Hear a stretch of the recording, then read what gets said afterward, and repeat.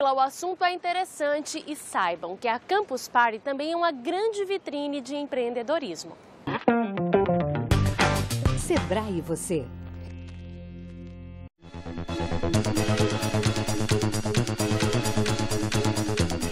A fim de se aproximar de um público mais jovem empreendedor, o Sebrae repetiu o feito realizado em janeiro desse ano em São Paulo e montou numa das maiores feiras tecnológicas do Brasil, a Campus Party Recife, um espaço destinado a quem quer colocar as ideias no papel e na prática.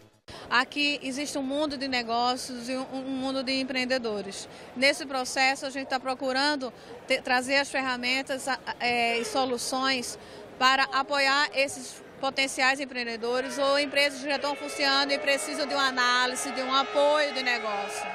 Já que o campuseiro, a, os estudantes que estudam tecnologia, ele está mais focado só na, na, tecnologia e não tem a, a noção do negócio. O Sebrae ele traz essa, essa ideia do negócio para perto da gente. A ideia de Adriano de montar um portal educativo sobre ciências naturais que funcione em dispositivos móveis foi discutida e analisada.